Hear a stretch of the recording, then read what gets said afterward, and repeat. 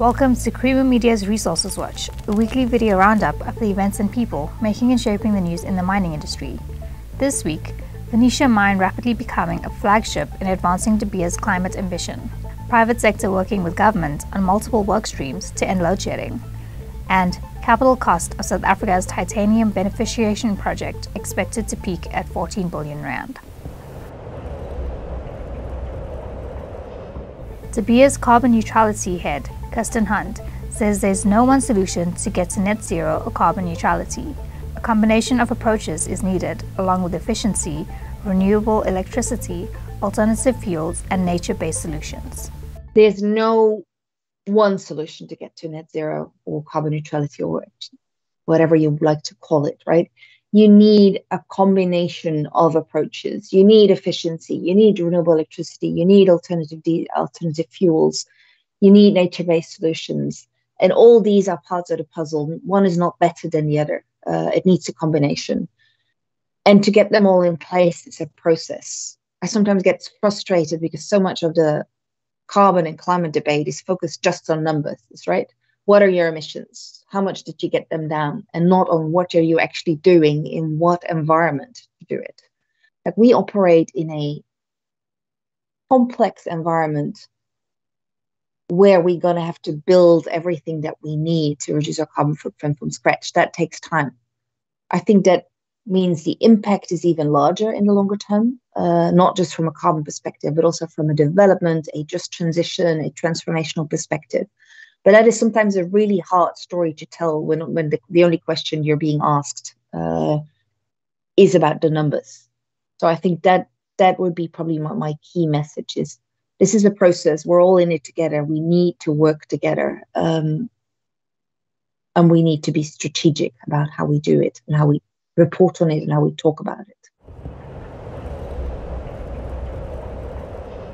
The private sector is so far working with governments on six of the 10 energy crisis work streams, for which business raised 100 million rand to procure skills and expertise for donation on an arm's length basis to the presidency within which the National Energy Crisis Committee is housed. The South African authorities recognize that we need effectively all hands to the pump to deal with very fundamental challenges, which act as a brake on real inclusive growth. And of course, that growth leads uh, to employment and deals with many of the challenges that we've got in the country at the moment. We had a very successful experience of partnering with the government during the COVID pandemic in 2020 and the vaccination rollout in 2021. And we've used that as the basis uh, for partnership with them uh, in the three areas that we're focusing on. Of course, there are different pockets of government that are uh, more supportive than others.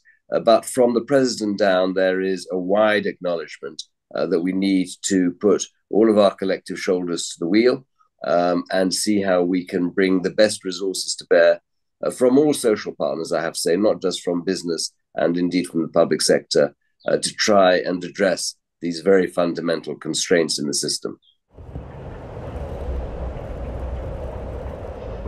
South African ilmenite, used to manufacture titanium dioxide pigment in KwaZulu-Natal, is on the way to receiving a major value boost. If you look at Nyanza now putting together a plant for 80,000 tons per year, that's probably around about 50% of Capacity. So while it's a huge uh, and a phenomenal project, it's just over 1% in terms of the global market. I think I think when we started the project in 2011, we had an estimation that just the titanium plant without the infrastructure and utilities at that time, and the rand dollar was still at seven and a half, eight to you know uh, the the dollar to the rand, and today we we are above 18.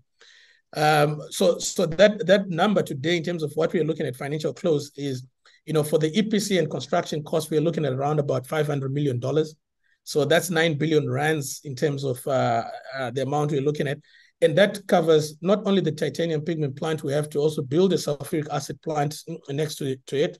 We have to build gas boilers. We have to do wastewater and large infrastructure utility companies, including some some solar uh, power and cogen power, just to add on our, you know, just to manage our energy security.